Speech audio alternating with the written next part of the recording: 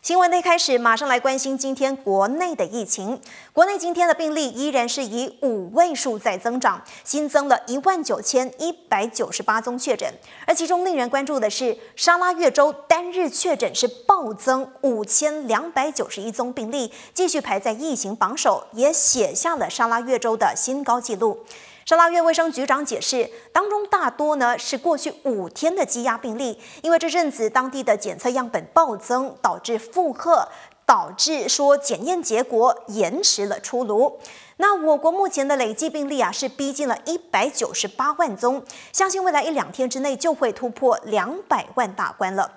中国工程院院士钟南山团队最新的预测就显示，我国病例一旦突破两百万之后，预料未来每一天将会平均新增两万七千宗的病例。那如果情况持续的话，根据我国人口来计算，到了十月底，国内每十个人当中就会有一个人确诊。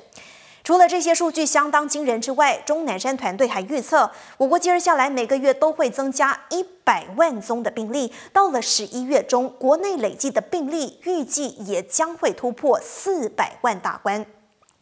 另外，卫生部在过去的星期四宣布启用新的网站 COVID Now 以后，从昨天开始，单日新增的死亡人数都不会再像以前那样每天傍晚时分公布，而是要等到晚上十一点五十九分才会在网站更新。